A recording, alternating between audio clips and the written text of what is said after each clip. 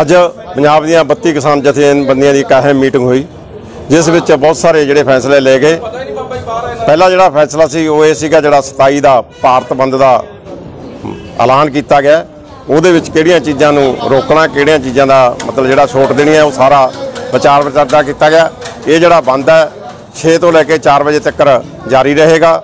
ਸੜਕਾਂ ਜਾਮ ਰਹਿਣਗੀਆਂ। ਦੁਕਾਨਾਂ ਵਪਾਰ ਦੇ ਅਦਾਰੇ ਸਾਰੇ ਕਾਰਖਾਨੇ ਬੰਦ ਰਹਿਣਗੇ ਔਰ ਸਾਰੇ ਜਿਹੜੇ ਲੋਕ ਹੈ ਉਹ ਇਸ ਦੇ ਸਮਰਥਨ ਦੇ ਵਿੱਚ ਰੈਲੀਆਂ ਮੁਜ਼ਾਹਰੇ ਕਰਕੇ ਆਪਣਾ ਜਿਹੜਾ ਰੋਸ ਹੈ ਉਹ ਸਰਕਾਰ ਤੱਕ ਭੇਜਣਗੇ।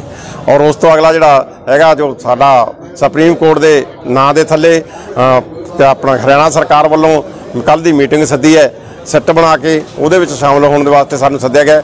ਅਸੀਂ ਉਹਦਾ ਵਾ- ਮੀਟਿੰਗ 'ਚ ਨਹੀਂ ਜਾਵਾਂਗੇ। ਫੈਸਲਾ ਕੀਤਾ 32 ਕਿਸਾਨ ਜਥੇਬੰਦੀਆਂ ਨੇ ਕਿਉਂਕਿ ਜਿਹੜਾ ਸੁਪਰੀਮ ਕੋਰਟ ਹੈ ਉਹਦੇ ਵਿੱਚ ਅਸੀਂ ਕੋਈ ਪਾਰਟੀ ਵੀ ਨਹੀਂ। ਉਹ ਇੱਕ ਲੜਕੀ ਨੇ ਜਿਹੜਾ ਹੈਗਾ, ਉਹ ਰਿਟ ਪਾਈ ਹੈ। ਉਹਦੀ ਸਮੱਸਿਆ ਹੀ ਹੈ, ਉਹ ਸਰਕਾਰ ਉਹਦੀ ਸਮੱਸਿਆ ਨੂੰ, ਉਹਦਾ ਹੱਲ ਕਰੇ ਤੇ ਸਾਡਾ ਉਹਦੇ ਵਿੱਚ ਮਤਲਬ ਕੋਈ ਰੋਲ ਨਹੀਂ ਹੈਗਾ। ਇਸ ਕਰਕੇ ਅਸੀਂ ਉਹ ਮੀਟਿੰਗ ਨੂੰ ਬਿਲਕੁਲ ਨਹੀਂ ਜਾਵਾਂਗੇ। ਜਿਹੜਾ ਸਰਕਾਰ ਨੇ ਰਸਤੇ ਰੋਕੇ ਨੇ, ਅਸੀਂ ਨਹੀਂ ਰੋਕੇ ਸੀ। ਅਸੀਂ ਤਾਂ ਦਿੱਲੀ ਜਾ ਰਹੇ ਸੀ ਤੇ ਉਹ ਸਰਕਾਰ ਨੇ ਮਤਲਬ ਜਿਹੜਾ ਰਸਤੇ ਰੋਕੇ ਹੋਏ ਨੇ, ਉਹ ਸਰਕਾਰ ਉਹਦੀ ਜ਼ਿੰਮੇਵਾਰ ਹੈ। ਸਾਡੀ ਉਹਦੇ ਵਾਸਤੇ ਪ੍ਰਤੀ ਕੋਈ ਜ਼ਿੰਮੇਵਾਰੀ ਨਹੀਂ ਹੈ। ਉਸ ਤੋਂ ਅਗਲੀ ਜਿਹੜੀ ਗੱਲ ਹੈਗੀ ਹੈ, ਅਸੀਂ ਆਉਣ ਵਾਲੇ ਸਮੇਂ ਦੇ ਵਿੱਚ ਬਹੁਤ ਸਾਰੇ ਜਿਹੜੇ ਸ- ਆਪਣਾ ਮਸਲੇ ਨੇ, ਉਹਨਾਂ ਨੂੰ ਵਿਚਾਰ ਕੇ ਚੱਲੇ ਹੋਏ ਆ, ਚੱਲਦੇ ਰਵਾਂਗੇ ਤੇ ਜਿਹੜਾ ਸਾਡਾ ਸੰਯੁਕਤ ਮੋਰਚਾ ਹੈ ਉਹਦੇ ਸੰਬੰਧ ਦੇ ਵਿੱਚ ਅਸੀਂ ਅੱਜ ਕੁਝ ਚਟੂਨੀ ਜੋ ਸਾਡੇ ਪੰਜਾਬ ਦੇ ਵਿੱਚ ਕਰ ਰਿਹਾ ਉਹਦੇ ਸੰਬੰਧ ਵਿੱਚ ਵੀ ਫੈਸਲੇ ਲੈਤੇ ਆ ਸੰਯੁਕਤ ਮੋਰਚੇ ਨੂੰ ਉਹਦੇ ਸੰਬੰਧ ਵਿੱਚ ਉਹਨਾਂ ਨੂੰ ਬੇਨਤੀ ਕੀਤੀ ਹੈ ਕਿ ਉਹਨੂੰ ਅਜਿਹਾ ਕੰਮ ਤੋਂ ਰੋਕਿਆ ਜਾਵੇ, ਕਿਉਂਕਿ ਜਦੋਂ ਅਸੀਂ ਪੰਜਾਬ ਦੇ ਵਿੱਚ ਜਿਹੜੀਆਂ ਸਾਰੀਆਂ ਸਿਆਸੀ ਧਿਰਾਂ ਨੂੰ ਫਾਈਨਲ ਕਰਕੇ ਆਪਣਾ ਸਿਆਸੀ ਪ੍ਰੋਗਰਾਮ, ਵੋਟਾਂ ਦਾ ਇਲੈਕ- ਪ੍ਰੋਗਰਾਮ ਦੇਣ ਤੋਂ ਰੋਕਿਆ ਹੋਇਆ ਤਾਂ ਜਿਹੜਾ ਚਲੂਨੀ ਸਾਡਾ ਸੰਯੁਕਤ ਮੋਰਚੇ ਦਾ ਮੈਂਬਰ ਹੈ, ਉਹ ਜਾ ਕੇ ਪੰਜਾਬ ਦੇ ਵਿੱਚ ਜਿਹੜੀਆਂ ਇਹ ਗਤੀਵਿਧੀਆਂ ਕਰਦਾ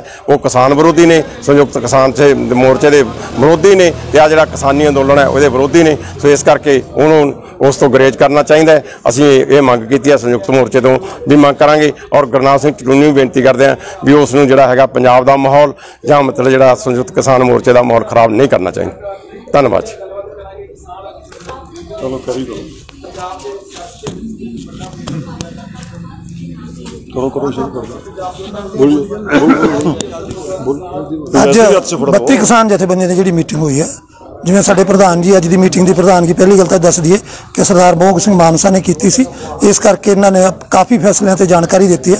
ਔਰ ਅਸੀਂ 27 ਸਤੰਬਰ ਦਾ ਜਿਹੜਾ ਭਾਰਤ ਬੰਦ ਹੈ, ਉਹਦੇ ਲਈ ਅਸੀਂ ਫੈਸਲਾ ਕੀਤਾ ਕਿ ਜਿੰਨੀ ਵੀ ਆਵਾਜਾਈ ਹੈ, ਉਹਨੂੰ ਅਸੀਂ ਰੋਕਾਂਗੇ ਔਰ ਨਾਲ ਦੀ ਨਾਲ ਜਿੰਨੀਆਂ ਵੀ ਦੁਕਾਨਾਂ ਨੇ ਇੰਡਸਟਰੀਅਲ ਏਰੀਏ ਨੇ ਜਾਂ ਇੰਡਸ ਮਤਲਬ ਕਾਰਖਾਨੇ ਨੇ, ਅਸੀਂ ਜਿੰਨੇ ਵੀ ਅਦਾਰੇ ਨੇ, ਉਹ ਉਸ ਦਿਨ ਬੰਦ ਰਹਿਣਗੇ। ਇੱਕ ਤਾਂ ਅਸੀਂ ਵੱਡਾ ਫੈਸਲਾ ਇਹ ਲਿਆ ਤੇ ਨਾਲ ਦੀ ਨਾਲ ਅਸੀਂ ਇਹ ਵੀ ਫੈਸਲਾ ਲਿਆ ਕਿ ਅਸੀਂ ਪੰਜਾਬ ਦੇ ਅੰਦਰ ਪਿਛਲੇ 10 ਤਰੀਕ ਨੂੰ 10 ਸਤੰਬਰ ਨੂੰ ਪੰਜਾਬ ਦੀਆਂ ਜਿੰਨੀਆਂ ਵੀ ਰਾਜਸੀ ਪਾਰਟੀਆਂ ਜਿੰਨੇ ਅਕਾਲੀ ਦਲ ਹੋ ਗਿਆ, ਕਾਂਗਰਸ ਹੋ ਗਈ, ਆਪ ਹੋ ਗਈ, ਉਹਨਾਂ ਨੂੰ ਬੁਲਾ ਕੇ ਬੇਨਤੀ ਕੀਤੀ ਸੀ ਕਿ, ਅਪੀਲ ਕੀਤੀ ਸੀ ਵੀ ਤੁਸੀਂ ਮਤਲਬ ਜਿੰਨਾ ਚਿਰ ਚੋਣ ਪ੍ਰਤੀਨਿਧਾਂ ਦਾ ਐਲਾਨ ਨਹੀਂ ਹੋ ਜਾਂਦਾ, ਉਹਨਾਂ ਚਿਰ ਸਿਆਸੀ ਸਰਗਰਮੀਆਂ ਨਾ ਕਰੋ।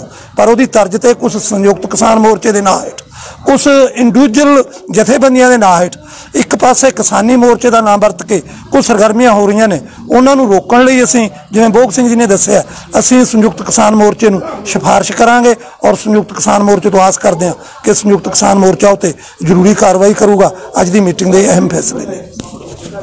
ਮੈਨੂੰ ਵੈਸੇ ਫੜਾ ਇਹਨੂੰ ਲਓ ਜੀ ਲਓ ਦੇਖੋ ਸਰਕਾਰ ਬੜੀ ਦੇਰ ਦੀ ਕੋਸ਼ਿਸ਼ਾਂ ਕਰ ਰਹੀ ਹੈ। ਇਹਨਾਂ ਮੋਰਚਿਆਂ ਨੂੰ ਕਿਸ ਤਰ੍ਹਾਂ ਫੇਲ ਕਰਨਾ ਇਹ ਸੜਕਾਂ ਜਿਹੜੀਆਂ ਕਿਸਾਨ ਜਿਹਨਾਂ ਪਰ ਸ਼ਾਂਤਮਈ ਧਰਨੇ ਦੇ ਰਹੇ ਨੇ, ਇਹ ਕਿਸ ਤਰ੍ਹਾਂ ਖਾਲੀ ਹੋ ਜਾਣ?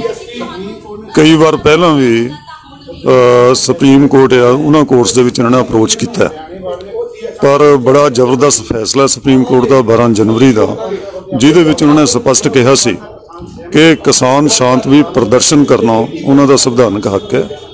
ਉਹਨਾਂ ਨੇ ਰਸਤਾ ਰੋਕਿਆ ਨਹੀਂ ਇਹ ਪ੍ਰਸ਼ਾਸਨ ਦਿੱਲੀ ਦਾ ਜਾਂ ਹਰਿਆਣੇ ਜਿਹੜੀ ਪੁਲਿਸ ਹੈ, ਇਹਨਾਂ ਨੇ ਰੋਕਾਂ ਲਾ ਕੇ ਰਸਤੇ ਰੋਕੇ ਹੋਏ ਨੇ। ਇੱਕ ਹੁਣ ਬਿਲਕੁਲ ਵੇਗ ਜਿਹੜੀ ਪਟੀਸ਼ਨ ਹੈ ਇੱਕ ਲੜਕੀ ਅਗਰਵਾਲ ਦੇ ਨਾਂ ਤੇ ਫਾਈਲ ਹੋਈ ਹੈ। ਉਹਦੇ ਵਿੱਚ ਕੋਈ ਐਸੀ ਸਪੈਸੀਫਿਕ ਡਾਇਰੈਕਸ਼ਨ ਨਹੀਂ ਹੈ, ਸਾਨੂੰ ਦਿੱਤੀ ਕਿ ਰਸਤਾ ਖਾਲੀ ਕੀਤਾ ਜਾਏ, ਪਰ ਜਿਹੜਾ ਹਰਿਆਣਾ ਪੁਲਿਸ ਹੈ, ਉਹਨੇ ਆਪਣੇ ਆਪ ਇੱਕ ਕਮੇਟੀ ਬਣਾ ਕੇ ਕੱਲ ਨੂੰ ਜਿਹੜਾ ਕਿਸਾਨਾਂ ਨੂੰ ਬੁਲਾਇਆ ਸੀ, ਅਸੀਂ ਫੈਸਲਾ ਕੀਤਾ, ਬਿਲਕੁਲ ਨਹੀਂ ਜਾਣਾ। ਕਿਉਂਕਿ ਉਹ ਪਟੀਸ਼ਨ ਦੇ ਵਿੱਚ ਨਾ ਕੋਈ ਸਪੈਸੀਫਿਕ ਆਰਡਰ ਹੈ, ਨਾ ਅਸੀਂ ਉਸ ਦੇ ਵਿੱਚ ਪਾਰਟੀ ਆ ਨਾ ਸੁਪਰੀਮ ਕੋਰਟ ਨੇ ਕੋਈ ਡਾਇਰੈਕਸ਼ਨ ਦਿੱਤੀ ਹੈ। ਇਸ ਲਈ ਇਹ ਸਾਰੀਆਂ ਚਾਲਾਂ ਨੂੰ ਅਸਫਲ ਹੈ ਜਿਹੜਾ ਕਿਸਾਨ ਮੋਰਚੇ ਨੇ ਬਣਾਉਣਾ ਆਪਣੇ ਸੰਘਰਸ਼ ਕਰਕੇ। ਇਹਨਾਂ ਦੇ ਵਿੱਚ ਬਿਲਕੁਲ ਅਸੀਂ ਆਉਣਾ ਨਹੀਂ, ਨਾ ਕਿਸੇ ਕਿਸਮ ਦੀ ਪ੍ਰਸ਼ਾਸਨ ਦੀ, ਨਾ ਕਿਸੇ ਕਿਸਮ ਦੀ ਸੁਪਰੀਮ ਕੋਰਟ ਦੀ ਹਦਾਇਤਾਂ ਦੇ ਵਿੱਚ ਮੋਰਚਾ ਇਸ ਤਰ੍ਹਾਂ ਹੀ ਬੁਲੰਦੀਆਂ ਵਿੱਚ ਰਿਹਾ ਜਾਰੀ ਰਹੇਗਾ।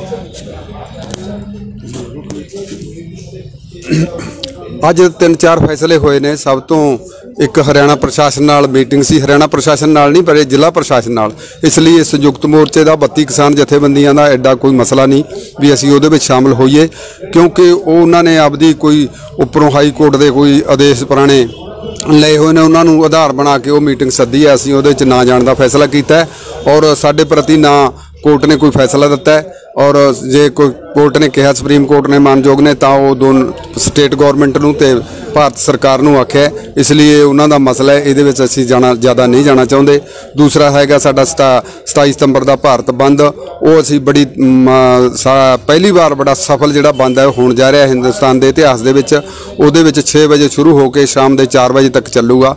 ਜਿਹਦੇ ਵਿੱਚ ਕੋਈ ਵੀ ਜ- ਸਾਰਾ ਜੀਵਨ ਇੱਕ ਤਰ੍ਹਾਂ ਨਾਲ ਅਸਤ ਵਿਅਸਤ ਹੋਏਗਾ ਔਰ ਸਾਡਾ ਜਿਹੜਾ ਜ਼ਰੂਰੀ ਸੇਵਾਵਾਂ ਨੇ ਜਿਹੜੀਆਂ ਉਹਨਾਂ ਨੂੰ ਰੋਕਣ ਦਾ ਕੋਈ ਇਰਾਦਾ ਨਹੀਂ ਔਰ ਸਾਰੇ ਸਾਡੇ ਵਰਕਰਾਂ ਨੂੰ ਕਿਹਾ ਗਿਆ ਕਿ ਉਹ ਜਿਹੜੇ ਜ਼ਰੂਰੀ ਸੇਵਾਵਾਂ ਨੂੰ ਲੰਘਣ ਦੇਣ, ਉਹਦੇ ਵਿੱਚ ਐਂਬੂਲੈਂਸ ਵੀ ਆਉਂਦੀ ਹੈ, ਬਿਮਾਰ ਵੀ ਆਉਂਦੇ ਨੇ, ਵਿਆਹ ਸ਼ਾਦੀਆਂ ਵੀ ਆਉਂਦੀਆਂ ਨੇ ਤੇ ਹੋਰ ਇਹੋ ਜਿਹੇ ਜਿਹੜੇ ਜ਼ਰੂਰੀ ਸੇਵਾਵਾਂ ਨੇ ਉਹਨਾਂ ਨੂੰ ਛੱਡ ਕੇ ਬਾਕੀ ਰੇਲ ਆਵਾਜਾਈ ਵੀ ਠੱਪ ਹੋਏਗੀ ਔਰ ਬਾਕੀ ਜਿਹੜੀਆਂ ਸੜਕੀ ਆਵਾਜਾਈ ਹੋਰ ਸਾਰੀਆਂ ਟ੍ਰੇਡ ਯੂਨੀਅਨਾਂ, ਵਪਾਰ ਮੰਡਲ ਸਾਰੀਆਂ ਹੀ ਜਿੰਨੀਆਂ ਮਜ਼ਦੂਰ ਸੰਗਠਨ ਜਿੰਨੇ ਵੀ ਹੈਗੇ ਸਾਰਿਆਂ ਨਾਲ ਅਸੀਂ ਪੂਰਾ ਗੱਲਬਾਤ ਜਿਹੜੀ ਚੱਲ ਰਹੀ ਹੈ ਆਉਣ ਵਾਲੇ ਸਮੇਂ ਦੇ ਵਿੱਚ ਦੋਵਾਂ ਚੌਹਾਂ ਦਿਨਾਂ ਵਿੱਚ ਪੂਰੀ ਹੋ ਜਾਣੀ ਹੈ। ਸਮੁੱਚੇ ਭਾਰਤ ਦੇ ਵਿੱਚ ਜਿਹੜਾ ਬੰਦ ਹੋਣਾ ਔਰ ਪਹਿਲੀ ਵਾਰ ਹੋਏਗਾ, ਇੱਕ ਵਾਰੀ ਦੇ ਵਿੱਚ ਪੂਰਾ ਜਿਹੜਾ ਬੰਦ ਹੈ ਉਹ ਲਗਾਤਾਰ ਹੋਏਗਾ। ਥੈਂਕ ਯੂ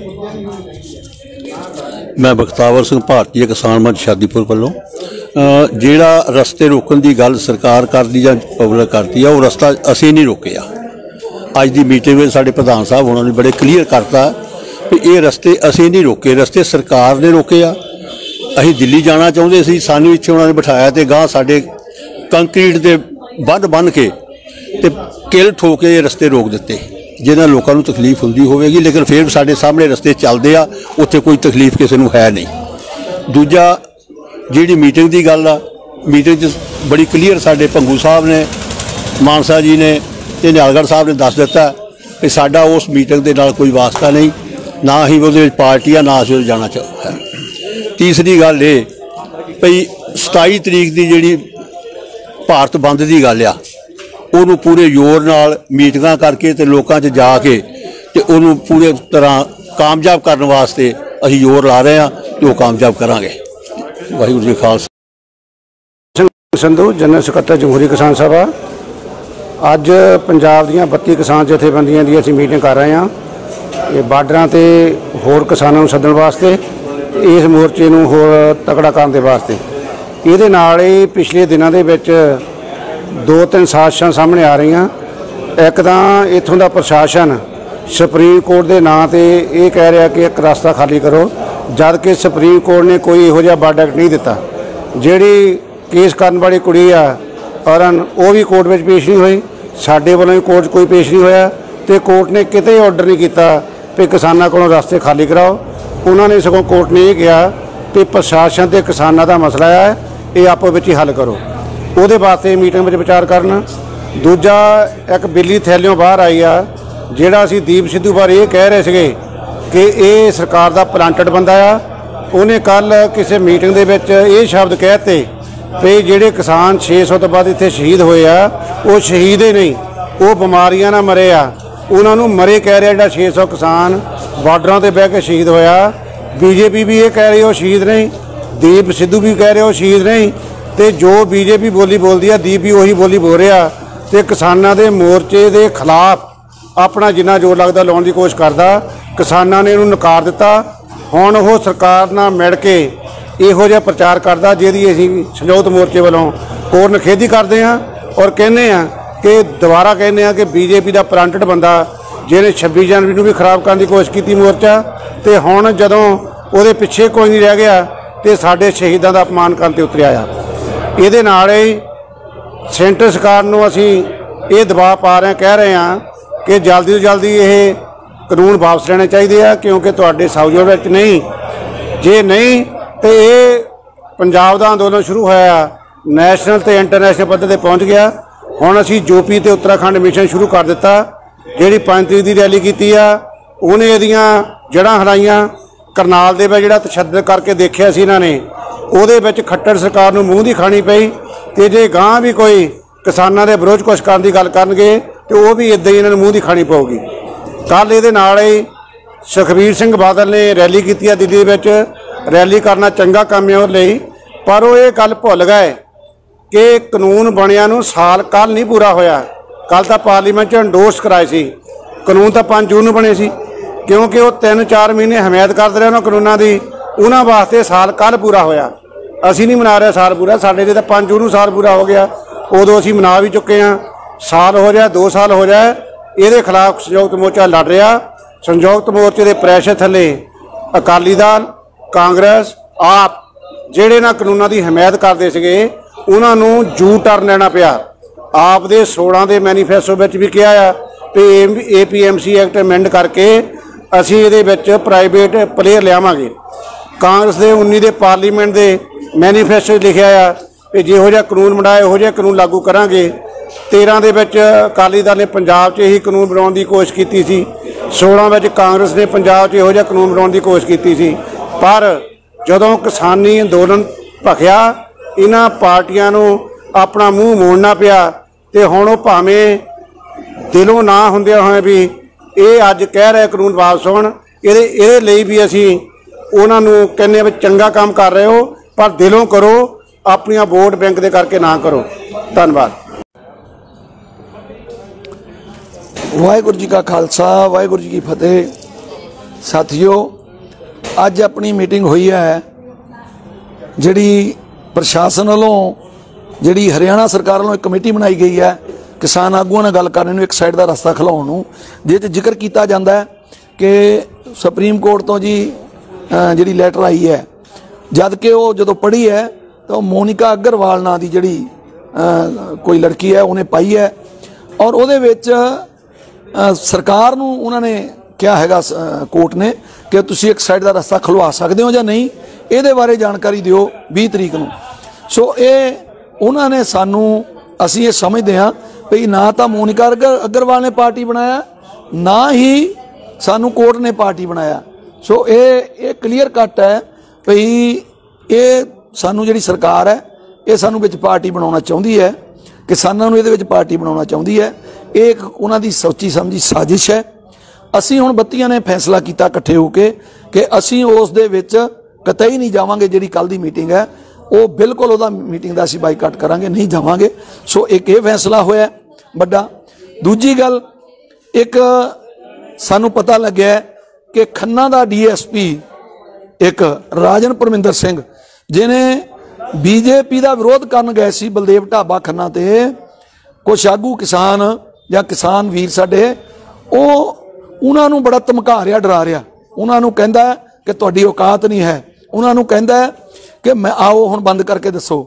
ਮੈਂ ਤੁਹਾਡੇ ਮਾਧਿਅਮ ਰਾਹੀਂ ਇਹ ਦੱਸਣਾ ਚਾਹੁੰਦਾ, ਆਪਣੇ ਇਸ ਮੀਡੀਆ ਦੇ ਮਾਧਿਅਮ ਰਾਹੀਂ ਦੱਸਣਾ ਚਾਹੁੰਦਾ ਭਈ ਉਹ ਡੀਐਸਪੀ, ਭੁੱਲ ਜਾ ਤੂੰ ਡੀਐਸਪੀ ਹੈ ਇਹ ਤੇਰੀ, ਤੇਰੇ 'ਚ ਜਿਹੜੀ ਡੀਐਸਪੀ ਦੀ ਤਾਕਤ ਬੋਲਦੀ ਆ, ਤਾਂ ਇਹ ਤੈਨੂੰ ਤੇਰੀ ਔਕਾਤ ਤੇਰੀ ਤੇਰੀ ਇੱਥੇ ਆ ਕੇ ਯਾਦ ਕਰਾ ਦੇਾਂਗੇ ਜੇ ਅਸੀਂ ਇੱਥੇ ਆ ਗਏ, ਅਸੀਂ ਦਿੱਲੀੋਂ ਸਾਨੂੰ ਮਜਬੂਰ ਨਾ ਕਰ ਇੱਥੇ ਆਉਣ ਲਈ। ਜੇ ਆ ਗਏ ਤੇਰੇ ਦਫ਼ਤਰ ਦੇ ਸਾਹਮਣੇ ਬਹਿ ਕੇ, ਤੂੰ ਤਾਂ ਕਹਿੰਦਾ ਨਾ ਸੜਕ ਤੇ ਆ ਕੇ ਦੱਸੋ, ਤੇਰੇ ਦਫ਼ਤਰ ਦੇ ਗੇਟ ਦੇ ਮੂਹਰੇ ਬਹਿ ਜਾਾਂਗੇ ਆ ਕੇ। ਤਾਂ ਤੇਰੀ ਔਕਾਤ ਤੈਨੂੰ ਯਾਦ ਕਰਾ ਦੇਾਂਗੇ ਇਸ ਕਰਕੇ ਹੁਣੇ ਇਸ ਭੱਲੀ ਚਾਉਣਾ ਤੇ ਆਪਣੇ ਸ਼ਬਦ ਵਾਪਸ ਲੈ ਤੇ ਮਾਫੀ ਮੰਗ ਲੈ। ਚੰਗਾ ਰਹੇਗਾ ਕਿਸਾਨਾਂ ਕੋਲੋਂ। ਇਹ ਜਿਹੜੀ ਗੱਲ ਕਹਿਣੀ ਕਿ ਮੈਂ ਤੁਹਾਨੂੰ ਆਓ ਤੁਹਾਨੂੰ ਮੈਂ ਜਾਣਦਾ ਮੈਂ ਤੁਹਾਨੂੰ ਬਖਸ਼ ਦਿੱਤਾ ਅਸੀਂ ਤੈਨੂੰ ਹਲੇ ਤੱਕ ਬਖਸ਼ਿਆ ਹੋਇਆ ਹੈ, ਜਿਹੜਾ ਤੇਰਾ ਕੱਲ ਦਾ ਬਿਆਨ ਚੱਲਦਾ ਜੇਕਰ ਅਸੀਂ ਤੂੰ ਮਾਫੀ ਨਾ ਮੰਗੀ ਤਾਂ ਫਿਰ ਜੇਕਰ ਅਸੀਂ ਕੋ ਕਾਲ ਦੇਤੀ ਤਾਂ ਫਿਰ ਤੇਰੀ ਵਰਦੀ ਵੀ ਤੇਰੀ ਉਤਾਰ ਕੇ ਹਟਾਂਗੇ। ਇਹ ਤੈਨੂੰ ਦੱਸ ਦਿੰਦੇ ਆ ਭਲਾ ਮਾਨਸ ਬਣ ਕੇ ਮਾਫੀ ਮੰਗ ਲੈ। ਤੇ ਅੱਗੇ ਤੋਂ ਇਦਾਂ ਦੀ ਹਰਕਤ ਕਰਨ ਲੱਗਿਆ 100 ਵਾਰ ਸੋਚੀ, ਫਿਰ ਮੈਂ ਕਿਸਾਨਾਂ ਨਾਲ ਕਿਹੜੀ ਸ਼ਬਦਾਵਲੀ 'ਚ ਬੋਲਣਾ? ਆਪਣੀ ਔਕਾਤ 'ਚ ਰਹਿ। ਸੋ ਇੰਨੀਆਂ ਕੁ ਬੇਨਤੀਆਂ ਨੇ। ਵਾਹਿਗੁਰੂ ਜੀ ਕਾ ਖਾਲਸਾ। ਅੱਜ ਪੰਜਾਬ ਦੀਆਂ 32 ਕਿਸਾਨ ਜਥੇਬੰਦੀਆਂ ਦੀ ਇੱਕ ਅਹਿਮ ਮੀਟਿੰਗ ਹੋਈ, ਜਿਸ ਵਿੱਚ ਬਹੁਤ ਸਾਰੇ ਜਿਹੜੇ ਫੈਸਲੇ ਲਏ ਗਏ। ਪਹਿਲਾ ਜਿਹੜਾ ਫੈਸਲਾ ਸੀ, ਉਹ ਇਹ ਸੀਗਾ ਜਿਹੜਾ 27 ਦਾ ਭਾਰਤ ਬੰਦ ਦਾ ਐਲਾਨ ਕੀਤਾ ਗਿਆ। ਉਹਦੇ ਵਿੱਚ ਕਿਹੜੀਆਂ ਚੀਜ਼ਾਂ ਨੂੰ ਰੋਕਣਾ, ਕਿਹੜੀਆਂ ਚੀਜ਼ਾਂ ਦਾ ਮਤਲਬ ਜਿਹੜਾ ਛੋਟ ਦੇਣੀ ਹੈ, ਉਹ ਸਾਰਾ ਵਿਚਾਰ ਵਿਚਾਰਦਾ ਕੀਤਾ ਗਿਆ। ਇਹ ਜਿਹੜਾ ਬੰਦ ਹੈ 6 ਤੋਂ ਲੈ ਕੇ 4 ਵਜੇ ਤੱਕ ਜਾਰੀ ਰਹੇਗਾ। ਸੜਕਾਂ ਜਾਮ ਰਹਿਣਗੀਆਂ, ਦੁਕਾਨਾਂ, ਵਪਾਰ ਦੇ ਅਦਾਰੇ ਸਾਰੇ ਕਾਰਖਾਨੇ ਬੰਦ ਰਹਿਣਗੇ ਔਰ ਸਾਰੇ ਜਿਹੜੇ ਲੋਕ ਹੈ, ਉਹ ਇਸ ਦੇ ਸਮਰਥਨ ਦੇ ਵਿੱਚ ਰੈਲੀਆਂ ਮੁਜ਼ਾਹਰੇ ਕਰਕੇ ਆਪਣਾ ਜਿਹੜਾ ਰੋਸ ਹੈ, ਉਹ ਸਰਕਾਰ ਤੱਕ ਭੇਜਣਗੇ। ਔਰ ਉਸ ਤੋਂ ਅਗਲਾ ਜਿਹੜਾ ਹੈਗਾ, ਜੋ ਸਾਡਾ ਸੁਪਰੀਮ ਕੋਰਟ ਦੇ ਨਾਂ ਦੇ ਥੱਲੇ ਤੇ ਆਪਣਾ ਹਰਿਆਣਾ ਸਰਕਾਰ ਵੱਲੋਂ ਕੱਲ ਦੀ ਮੀਟਿੰਗ ਸੱਦੀ ਹੈ ਸੈੱਟ ਬਣਾ ਕੇ ਉਹਦੇ ਵਿੱਚ ਸ਼ਾਮਲ ਹੋਣ ਦੇ ਵਾਸਤੇ ਸਾਨੂੰ ਸੱਦਿਆ ਗਿਆ। ਅਸੀਂ ਉਹਦਾ ਵਾ- ਮੀਟਿੰਗ 'ਚ ਨਹੀਂ ਜਾਵਾਂਗੇ, ਫੈਸਲਾ ਕੀਤਾ 32 ਕਿਸਾਨ ਜਥੇਬੰਦੀਆਂ ਨੇ, ਕਿਉਂਕਿ ਜਿਹੜਾ ਸੁਪਰੀਮ ਕੋਰਟ ਹੈ ਉਹਦੇ ਵਿੱਚ ਅਸੀਂ ਕੋਈ ਪਾਰਟੀ ਵੀ ਨਹੀਂ, ਉਹ ਇੱਕ ਲੜਕੀ ਨੇ ਜਿਹੜਾ ਹੈਗਾ, ਉਹ ਰਿਟ ਪਾਈ ਹੈ, ਉਹਦੀ ਸਮੱਸਿਆ ਹੀ ਹੈ, ਉਹ ਸਰਕਾਰ ਉਹਦੀ ਸਮੱਸਿਆ ਨੂੰ ਉਹਦਾ ਹੱਲ ਕਰੇ ਤੇ ਸਾਡਾ ਉਹਦੇ ਵਿੱਚ ਮਤਲਬ ਕੋਈ ਰੋਲ ਨਹੀਂ ਹੈਗਾ, ਇਸ ਕਰਕੇ ਅਸੀਂ ਉਹ ਮੀਟਿੰਗ ਨੂੰ ਬਿਲਕੁਲ ਨਹੀਂ ਜਾਵਾਂਗੇ, ਜਿਹੜਾ ਸਰਕਾਰ ਨੇ ਰਸਤੇ ਰੋਕੇ ਨੇ, ਅਸੀਂ ਨਹੀਂ ਰੋਕੇ ਸੀ, ਅਸੀਂ ਤਾਂ ਦਿੱਲੀ ਜਾ ਰਹੇ ਸੀ, ਤੇ ਉਹ ਸਰਕਾਰ ਨੇ ਮਤਲਬ ਜਿਹੜਾ ਰਸਤੇ ਰੋਕੇ ਹੋਏ ਨੇ, ਉਹ ਸਰਕਾਰ ਉਹਦੀ ਜ਼ਿੰਮੇਵਾਰ ਹੈ, ਸਾਡੀ ਉਹਦੇ ਵਾਸਤੇ ਪ੍ਰਤੀ ਕੋਈ ਜ਼ਿੰਮੇਵਾਰੀ ਨਹੀਂ ਹੈ। ਉਸ ਤੋਂ ਅਗਲੀ ਜਿਹੜੀ ਗੱਲ ਹੈਗੀ ਹੈ, ਅਸੀਂ ਆਉਣ ਵਾਲੇ ਸਮੇਂ ਦੇ ਵਿੱਚ ਬਹੁਤ ਸਾਰੇ ਜਿਹੜੇ ਸ- ਅ, ਆਪਣਾ ਮਸਲੇ ਨੇ ਉਹਨਾਂ ਨੂੰ ਵਿਚਾਰ ਕੇ ਚੱਲੇ ਹੋਏ ਆ ਚੱਲਦੇ ਰਵਾਂਗੇ ਤੇ ਜਿਹੜਾ ਸਾਡਾ ਸੰਯੁਕਤ ਮੋਰਚਾ ਹੈ ਉਹਦੇ ਸੰਬੰਧ ਦੇ ਵਿੱਚ ਅਸੀਂ ਅੱਜ ਕੁਝ ਚਟੂਨੀ ਜੋ ਸਾਡੇ ਪੰਜਾਬ ਦੇ ਵਿੱਚ ਕਰ ਰਿਹਾ ਉਹਦੇ ਸੰਬੰਧ ਵਿੱਚ ਵੀ ਫੈਸਲੇ ਲੈਤੇ ਆ ਸੰਯੁਕਤ ਮੋਰਚੇ ਨੂੰ ਉਹਦੇ ਸੰਬੰਧ ਵਿੱਚ ਉਹਨਾਂ ਨੂੰ ਬੇਨਤੀ ਕੀਤੀ ਹੈ ਕਿ ਉਹਨੂੰ ਅਜਿਹਾ ਕੰਮ ਤੋਂ ਰੋਕਿਆ ਜਾਵੇ, ਕਿਉਂਕਿ ਜਦੋਂ ਅਸੀਂ ਪੰਜਾਬ ਦੇ ਵਿੱਚ ਜਿਹੜੀਆਂ ਸਾਰੀਆਂ ਸਿਆਸੀ ਧਿਰਾਂ ਨੂੰ ਫਾਈਨਲ ਕਰਕੇ ਆਪਣਾ ਸਿਆਸੀ ਪ੍ਰੋਗਰਾਮ, ਵੋਟਾਂ ਦਾ ਇਲੈਕ- ਪ੍ਰੋਗਰਾਮ ਦੇਣ ਤੋਂ ਰੋਕਿਆ ਹੋਇਆ ਤਾਂ ਜਿਹੜਾ ਚਲੂਨੀ ਸਾਡਾ ਸੰਯੁਕਤ ਮੋਰਚੇ ਦਾ ਮੈਂਬਰ ਹੈ, ਉਹ ਜਾ ਕੇ ਪੰਜਾਬ ਦੇ ਵਿੱਚ ਜਿਹੜੀਆਂ ਇਹ ਗਤੀਵਿਧੀਆਂ ਕਰਦਾ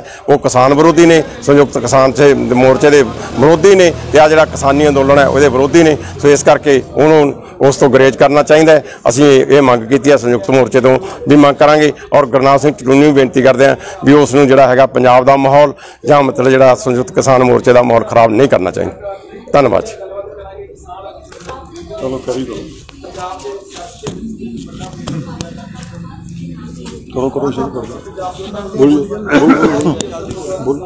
ਅੱਜ ਵੈਸੇ ਵੀ ਹੱਥ 'ਚ ਫੜਾਓ। 32 ਕਿਸਾਨ ਜਥੇਬੰਦੀਆਂ ਦੀ ਜਿਹੜੀ ਮੀਟਿੰਗ ਹੋਈ ਹੈ ਜਿਵੇਂ ਸਾਡੇ ਪ੍ਰਧਾਨ ਜੀ ਅੱਜ ਦੀ ਮੀਟਿੰਗ ਦੀ ਪ੍ਰਧਾਨਗੀ ਪਹਿਲੀ ਗੱਲ ਤਾਂ ਦੱਸ ਦਈਏ ਕਿ ਸਰਦਾਰ ਮੋਹਨ ਸਿੰਘ ਮਾਨਸਾ ਨੇ ਕੀਤੀ ਸੀ। ਇਸ ਕਰਕੇ ਇਹਨਾਂ ਨੇ ਕਾਫੀ ਫੈਸਲਿਆਂ ਤੇ ਜਾਣਕਾਰੀ ਦਿੱਤੀ ਹੈ। ਔਰ ਅਸੀਂ 27 ਸਤੰਬਰ ਦਾ ਜਿਹੜਾ ਭਾਰਤ ਬੰਦ ਹੈ, ਉਹਦੇ ਲਈ ਅਸੀਂ ਫੈਸਲਾ ਕੀਤਾ ਕਿ ਜਿੰਨੀ ਵੀ ਆਵਾਜਾਈ ਹੈ, ਉਹਨੂੰ ਅਸੀਂ ਰੋਕਾਂਗੇ। ਔਰ ਨਾਲ ਦੀ ਨਾਲ ਜਿੰਨੀਆਂ ਵੀ ਦੁਕਾਨਾਂ ਨੇ ਇੰਡਸਟਰੀਅਲ ਏਰੀਏ ਨੇ ਜਾਂ ਇੰਡਸ ਮਤਲਬ ਕਾਰਖਾਨੇ ਨੇ, ਅਸੀਂ ਜਿੰਨੇ ਵੀ ਅਦਾਰੇ ਨੇ, ਉਹ ਉਸ ਦਿਨ ਬੰਦ ਰਹਿਣਗੇ। ਇੱਕ ਤਾਂ ਅਸੀਂ ਵੱਡਾ ਫੈਸਲਾ ਇਹ ਲਿਆ ਤੇ ਨਾਲ ਦੀ ਨਾਲ ਅਸੀਂ ਇਹ ਵੀ ਫੈਸਲਾ ਲਿਆ ਹੈ ਕਿ ਅਸੀਂ ਪੰਜਾਬ ਦੇ ਅੰਦਰ ਪਿਛਲੇ 10 ਤਰੀਕ ਨੂੰ 10 ਸਤੰਬਰ ਨੂੰ ਪੰਜਾਬ ਦੀਆਂ ਜਿੰਨੀਆਂ ਵੀ ਰਾਜਸੀ ਪਾਰਟੀਆਂ ਜਿੰਨੇ ਅਕਾਲੀ ਦਲ ਹੋ ਗਿਆ, ਕਾਂਗਰਸ ਹੋ ਗਈ, ਆਪ ਹੋ ਗਈ, ਉਹਨਾਂ ਨੂੰ ਬੁਲਾ ਕੇ ਬੇਨਤੀ ਕੀਤੀ ਸੀ ਕਿ, ਅਪੀਲ ਕੀਤੀ ਸੀ ਵੀ ਤੁਸੀਂ ਮਤਲਬ ਜਿੰਨਾ ਚਿਰ ਚੋਣ ਪ੍ਰਚਾਰ ਦਾ ਐਲਾਨ ਨਹੀਂ ਹੋ ਜਾਂਦਾ ਉਹਨਾਂ ਚਿਰ ਸਿਆਸੀ ਸਰਗਰਮੀਆਂ ਨਾ ਕਰੋ। ਪਰ ਉਹਦੀ ਤਰਜ਼ ਤੇ ਕੁਝ ਸੰਯੁਕਤ ਕਿਸਾਨ ਮੋਰਚੇ ਦੇ ਨਾਂ ਹੇਠ ਕੁਝ ਇੰਡੀਵਿਜੂਅਲ ਜਥੇਬੰਦੀਆਂ ਦੇ ਨਾਂ ਹੇਠ ਇੱਕ ਪਾਸੇ ਕਿਸਾਨੀ ਮੋਰਚੇ ਦਾ ਨਾਮ ਵਰਤ ਕੇ ਕੁਝ ਸਰਗਰਮੀਆਂ ਹੋ ਰਹੀਆਂ ਨੇ ਉਹਨਾਂ ਨੂੰ ਰੋਕਣ ਲਈ ਅਸੀਂ ਜਿਵੇਂ ਬੋਗ ਸਿੰਘ ਜੀ ਨੇ ਦੱਸਿਆ ਅਸੀਂ ਸੰਯੁਕਤ ਕਿਸਾਨ ਮੋਰਚੇ ਨੂੰ ਸਿਫਾਰਿਸ਼ ਕਰਾਂਗੇ ਔਰ ਸੰਯੁਕਤ ਕਿਸਾਨ ਮੋਰਚੇ ਤੋਂ ਆਸ ਕਰਦੇ ਹਾਂ ਕਿ ਸੰਯੁਕਤ ਕਿਸਾਨ ਮੋਰਚਾ ਉਤੇ ਜ਼ਰੂਰੀ ਕਾਰਵਾਈ ਕਰੂਗਾ। ਅੱਜ ਦੀ ਮੀਟਿੰਗ ਦੇ ਅਹਿਮ ਫੈਸਲੇ ਨੇ। ਮੈਨੂੰ ਵੈਸੇ ਫੜਾ ਦਿਓ ਲਓ ਜੀ ਲਓ। ਦੇਖੋ ਸਰਕਾਰ ਬੜੀ ਦੇਰ ਦੀ ਕੋਸ਼ਿਸ਼ਾਂ ਕਰ ਰਹੀ ਹੈ। ਇਹਨਾਂ ਮੋਰਚਿਆਂ ਨੂੰ ਕਿਸ ਤਰ੍ਹਾਂ ਫੇਲ ਕਰਨਾ ਇਹ ਸੜਕਾਂ ਜਿਹੜੀਆਂ ਕਿਸਾਨ ਜਿਹਨਾਂ ਪਰ ਸ਼ਾਂਤਮਈ ਧਰਨੇ ਦੇ ਰਹੇ ਨੇ, ਇਹ ਕਿਸ ਤਰ੍ਹਾਂ ਖਾਲੀ ਹੋ ਜਾਣ? ਕਈ ਵਾਰ ਪਹਿਲਾਂ ਵੀ ਸੁਪਰੀਮ ਕੋਰਟ ਆ, ਉਹਨਾਂ ਕੋਰਸ ਦੇ ਵਿੱਚ ਇਹਨਾਂ ਨੇ ਅਪਰੋਚ ਕੀਤਾ ਪਰ ਬੜਾ ਜ਼ਬਰਦਸਤ ਫੈਸਲਾ ਸੁਪਰੀਮ ਕੋਰਟ ਦਾ 12 ਜਨਵਰੀ ਦਾ, ਜਿਹਦੇ ਵਿੱਚ ਉਹਨਾਂ ਨੇ ਸਪਸ਼ਟ ਕਿਹਾ ਸੀ ਕਿ ਕਿਸਾਨ ਸ਼ਾਂਤਮਈ ਪ੍ਰਦਰਸ਼ਨ ਕਰਨਾ ਉਹਨਾਂ ਦਾ ਸੰਵਿਧਾਨਕ ਹੱਕ ਹੈ। ਉਹਨਾਂ ਨੇ ਰਸਤਾ ਰੋਕਿਆ ਨਹੀਂ ਇਹ ਪ੍ਰਸ਼ਾਸਨ ਦਿੱਲੀ ਦਾ ਜਾਂ ਹਰਿਆਣੇ ਦੀ ਜਿਹੜੀ ਪੁਲਿਸ ਹੈ, ਇਹਨਾਂ ਨੇ ਰੋਕਾਂ ਲਾ ਕੇ ਰਸਤੇ ਰੋਕੇ ਹੋਏ ਨੇ। ਇੱਕ ਹੁਣ ਬਿਲਕੁਲ ਵੇਗ ਜਿਹੜੀ ਪਟੀਸ਼ਨ ਹੈ ਇੱਕ ਲੜਕੀ ਅਗਰਵਾਲ ਦੇ ਨਾਂ ਤੇ ਫਾਈਲ ਹੋਈ ਹੈ। ਉਹਦੇ ਵਿੱਚ ਕੋਈ ਐਸੀ ਸਪੈਸੀਫਿਕ ਡਾਇਰੈਕਸ਼ਨ ਨਹੀਂ ਹੈ, ਸਾਨੂੰ ਦਿੱਤੀ ਕਿ ਰਸਤਾ ਖਾਲੀ ਕੀਤਾ ਜਾਏ, ਪਰ ਜਿਹੜਾ ਹਰਿਆਣਾ ਪੁਲਿਸ ਹੈ, ਉਹਨੇ ਆਪਣੇ ਆਪ ਇੱਕ ਕਮੇਟੀ ਬਣਾ ਕੇ ਕੱਲ ਨੂੰ ਜਿਹੜਾ ਕਿਸਾਨਾਂ ਨੂੰ ਬੁਲਾਇਆ ਸੀ, ਅਸੀਂ ਫੈਸਲਾ ਕੀਤਾ, ਬਿਲਕੁਲ ਨਹੀਂ ਜਾਣਾ। ਕਿਉਂਕਿ ਉਹ ਪਟੀਸ਼ਨ ਦੇ ਵਿੱਚ ਨਾ ਕੋਈ ਸਪੈਸੀਫਿਕ ਆਰਡਰ ਹੈ, ਨਾ ਅਸੀਂ ਉਸ ਦੇ ਵਿੱਚ ਪਾਰਟੀ ਹਾਂ, ਨਾ ਸੁਪਰੀਮ ਕੋਰਟ ਨੇ ਕੋਈ ਡਾਇਰੈਕਸ਼ਨ ਦਿੱਤੀ ਹੈ। ਇਸ ਲਈ ਇਹ ਸਾਰੀਆਂ ਚਾਲਾਂ ਨੂੰ ਅਸਫਲ ਹੈ ਜਿਹੜਾ ਕਿਸਾਨ ਮੋਰਚੇ ਨੇ ਬਣਾਉਣਾ ਆਪਣੇ ਸੰਘਰਸ਼ ਕਰਕੇ। ਇਹਨਾਂ ਦੇ ਵਿੱਚ ਬਿਲਕੁਲ ਅਸੀਂ ਆਉਣਾ ਨਹੀਂ, ਨਾ ਕਿਸੇ ਕਿਸਮ ਦੀ ਪ੍ਰਸ਼ਾਸਨ ਦੀ, ਨਾ ਕਿਸੇ ਕਿਸਮ ਦੀ ਸੁਪਰੀਮ ਕੋਰਟ ਦੀ ਹਦਾਇਤਾਂ ਦੇ ਵਿੱਚ ਮੋਰਚਾ ਇਸ ਤਰ੍ਹਾਂ ਹੀ ਬੁਲੰਦੀਆਂ ਵਿੱਚ ਰਿਹਾ, ਜਾਰੀ ਰਹੇਗਾ। ਅੱਜ ਤਿੰਨ ਚਾਰ ਫੈਸਲੇ ਹੋਏ ਨੇ, ਸਭ ਤੋਂ ਇੱਕ ਹਰਿਆਣਾ ਪ੍ਰਸ਼ਾਸਨ ਨਾਲ ਮੀਟਿੰਗ ਸੀ। ਹਰਿਆਣਾ ਪ੍ਰਸ਼ਾਸਨ ਨਾਲ ਨਹੀਂ, ਪਰ ਇਹ ਜ਼ਿਲ੍ਹਾ ਪ੍ਰਸ਼ਾਸਨ ਨਾਲ। ਇਸ ਲਈ ਇਹ ਸੰਯੁਕਤ ਮੋਰਚੇ ਦਾ 32 ਕਿਸਾਨ ਜਥੇਬੰਦੀਆਂ ਦਾ ਐਡਾ ਕੋਈ ਮਸਲਾ ਨਹੀਂ ਵੀ ਅਸੀਂ ਉਹਦੇ ਵਿੱਚ ਸ਼ਾਮਲ ਹੋਈਏ, ਕਿਉਂਕਿ ਉਹ ਉਹਨਾਂ ਨੇ ਆਪਦੀ ਕੋਈ ਉੱਪਰੋਂ ਹਾਈ ਕੋਰਟ ਦੇ ਕੋਈ ਆਦੇਸ਼ ਪੁਰਾਣੇ ਲਏ ਹੋਏ ਨੇ। ਉਹਨਾਂ ਨੂੰ ਆਧਾਰ ਬਣਾ ਕੇ ਉਹ ਮੀਟਿੰਗ